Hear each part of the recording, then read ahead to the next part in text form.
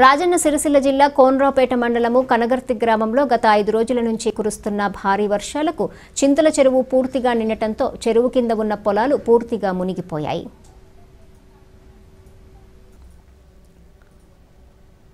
ఈ పొలాలకు ఒక ఒర్రే అనుసంధానంగా ఉండటంతో ఒర్రెలకు నీరు వెళ్ళటానికి ఎలాంటి దారి లేకపోవడంతో వర్షం నీరు చేరి పొలాలు పూర్తిగా మునిగిపోయాయి.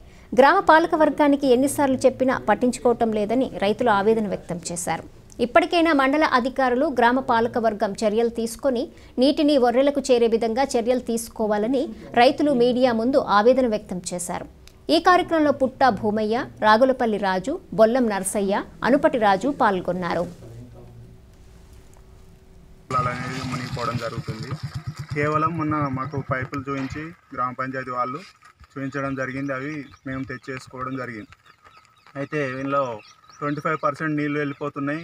Forty five seventy five percent నీళ్ళు అనేటువంటి స్టోరేజ్ కావడం వలన వేసినటువంటి పంట పొలాలు అనేటువంటి మునిగిపోతున్నాయి కావున మండల అభివృద్ధి అధికారులు కొంచెం వ్యవసాయ శాఖ అధికారులు కానీ దీన్ని పట్టించుకొని మాకు నీళ్ళు వెంట- వెళ్ళిపోవడానికి సహకరించాలని కోరుతున్నాం.